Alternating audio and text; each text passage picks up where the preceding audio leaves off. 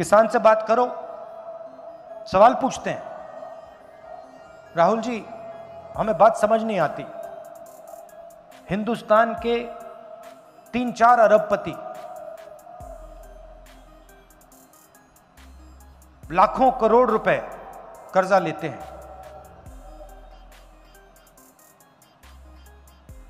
और फिर हिंदुस्तान के सबसे अमीर लोगों का कर्जा माफ़ हो जाता है। हमने क्या गलती की? हम पचास हज़ार रुपए का कर्जा लेते हैं, एक लाख रुपए का कर्जा लेते हैं। हमारा कर्जा कभी माफ़ क्यों नहीं होता?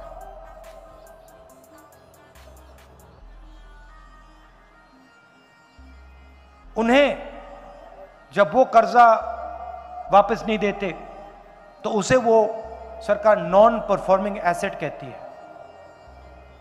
उनके खिलाफ कोई कार्रवाई नहीं होती। मगर जब किसान पचास हज़ार रुपए कर्जा लेता है, वापस नहीं देता, उसे नॉन परफॉर्मिंग एसेट नहीं कहलाया जाता तो डिफॉल्टर कहलाया जाता है। ये सवाल किसान पूछ रहे हैं। प्रधानमंत्री बीमा योजना में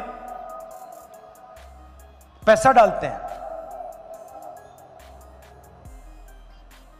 तूफ़ान आता है, बारिश होती है, खेत बर्बाद हो जाता है। एक रुपया नहीं मिलता।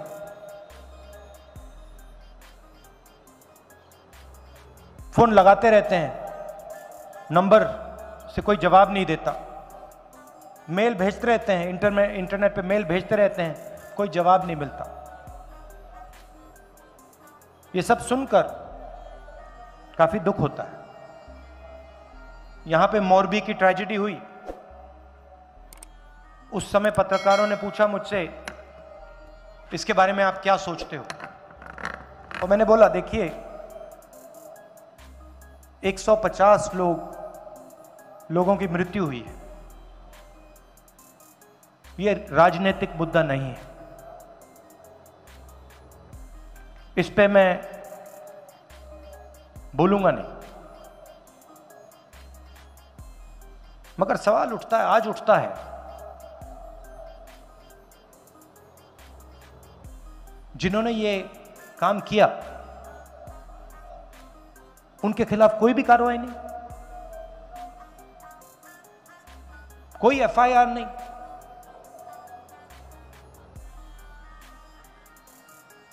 बीजेपी के साथ उनका अच्छा रिश्ता है तो उनका कुछ नहीं होगा क्या? चौकीदारों को पकड़ लिया, अंदर कर दिया।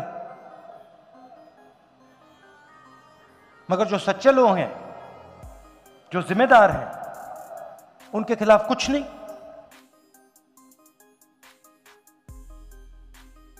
और ये गुजरात जो आपका प्रदेश है, स्मॉल और मीडियम इंडस्ट्री का ये सेंटर है। ये आपकी रीढ़ की हड्डी है। ये जो छोटी कंपनीज़ हैं मिडिल साइज़ कंपनीज़ हैं, और आपके लोग सिर्फ़ गुजरात में नहीं चलाते, पूरे हिंदुस्तान में आप लोग इनको चलाते हो। यही तो देश को रोज़गार देती हैं।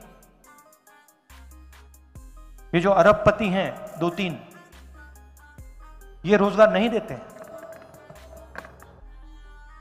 जो छोटे बिजनेसेस हैं मिडिल साइज़ बिजनेसेस हैं, वो रोज़गार देते थे। क्या हुआ?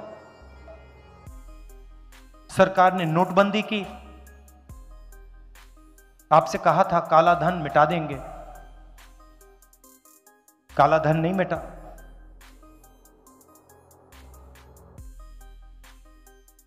मगर सारे के सारे स्मॉल और मीडियम बिजनेसेस बंद हो गए। फिर गलत जीएसटी लागू की। पाँच अलग अलग टैक्स। हर महीने फॉर्म भरो।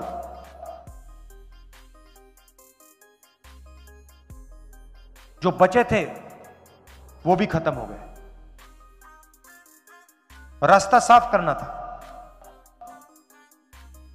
अरबपतियों के लिए रास्ता साफ़ करना था।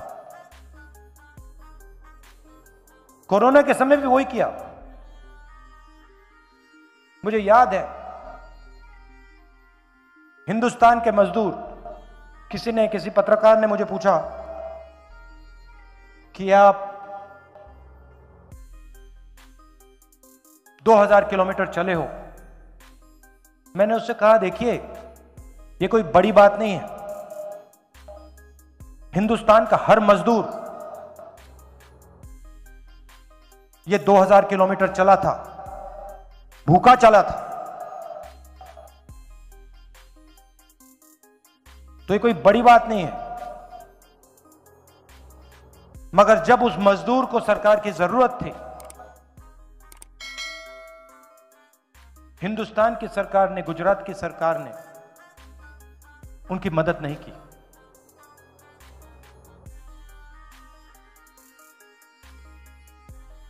और जब वो मजदूर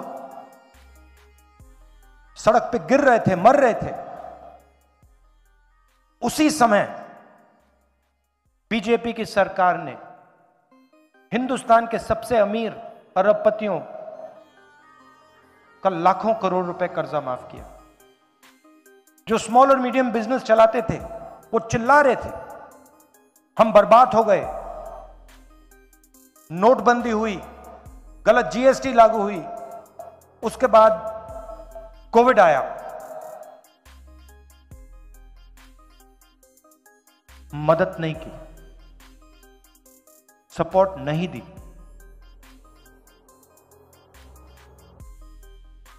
ये पॉलिसियाँ नहीं है। ये नोटबंदी, ये गल, ये जीएसटी कोविड में जो इन्होंने किया, ये पॉलिसी नहीं है। ये किसानों के खिलाफ, मजदूरों के खिलाफ, छोटे व्यापारियों के खिलाफ स्मॉल और मीडियम बिज़नेस चलाने वालों के खिलाफ ये हथियार है। इनको खत्म करने के हथियार है। और जो हिंदुस्तान के दो तीन बड़े बड़े अरबपति हैं, जिनको आप जानते हो, उनके लिए रास्ता साफ़ करने के हथियार वो कोई भी बिज़नेस चलाना चाहे, चला सकते हैं। जो भी करना चाहते हैं। टेलीकॉम बिज़नेस करना है तो टेलीकॉम में घुस जाएँगे। एयरपोर्ट में घुस जाएँगे। पोर्ट्स में घुस जाएँगे। इंफ्रास्ट्रक्चर। खेती जो भी ये करना चाहते हैं ग्रोसरी स्टोर्स जो भी करना चाहते हैं कर सकते हैं। जो भी सपना देखना चाहते हैं, देख सकते हैं। मगर अगर हिंदुस्तान का युवा सपना देखना चाहता है इंजीनियर बनना चाहता है तो पहले आप प्राइवेट इंस्टीट्यूशन में जाइए, लाखों रुपए दीजिए। महँगाई सही है।